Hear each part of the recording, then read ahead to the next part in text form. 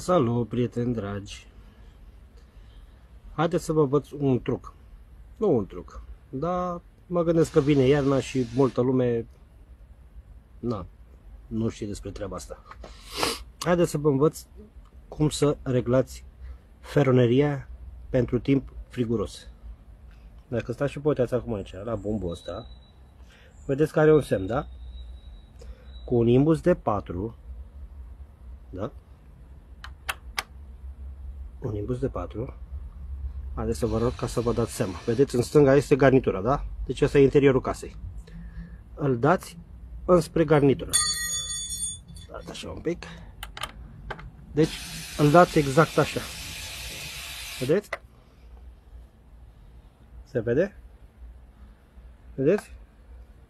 Această liniuță trebuie să fie spre garnitură. Asta înseamnă că este reglată pentru timp friguros, pentru timp de iarnă vara, de preferință, să-l dați ori așa perpendicular cu feroneria, da? ori dacă nu, spre exterior. Așa. Mă gândesc că n-are rost să mai chemați un meseriaș. Asta le puteți face singur acasă.